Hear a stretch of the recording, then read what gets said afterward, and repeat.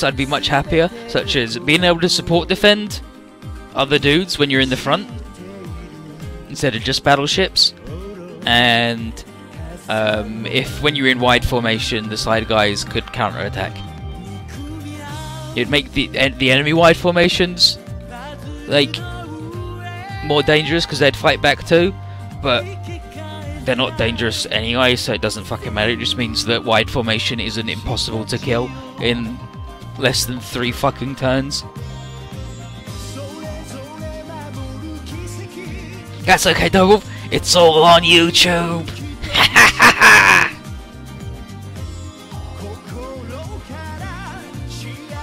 and then we're gonna do Z2, both parts, and then Z3, both parts. I probably won't do Rengoku again, but maybe oh, I'll, because it's only 15 stages. It only took like two fucking sessions to do last time.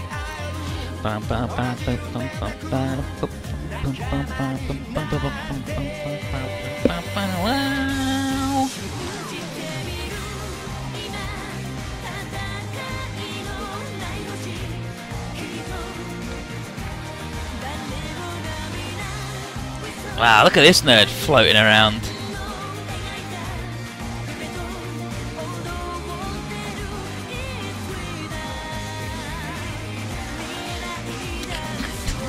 Daitarn getting ripped.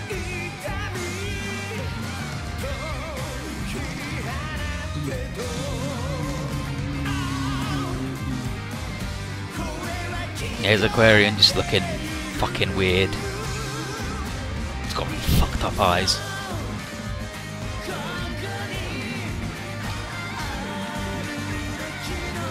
Oh god, Avion!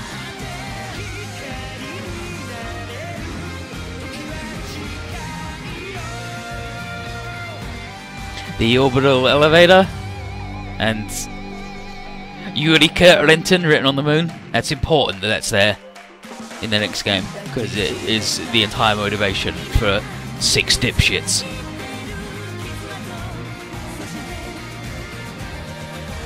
Zambo Ace! No, that's Bulgios, sorry.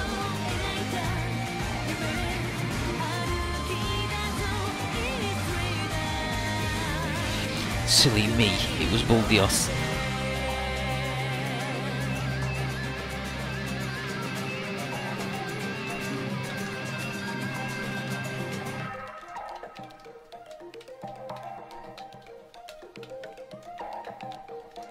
It's okay if uh, the end.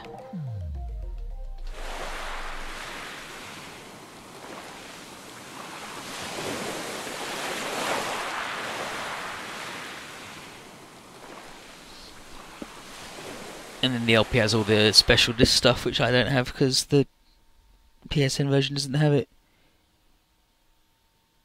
Bandai Namco. Yeah, and then I'll friggin' save for sure. We missed two SR points. One, because they fucking cheated me out of it because they didn't tell me what it was properly. And the other one, I don't know. Yeah, whatever, right. The special disc is super good. Yeah, I'm gonna play G-Gen when it comes out on Tuesday. I'll be late though because that's when the other thing happens to Ryutama. But let's end the recording. Okay, I, I, you didn't end the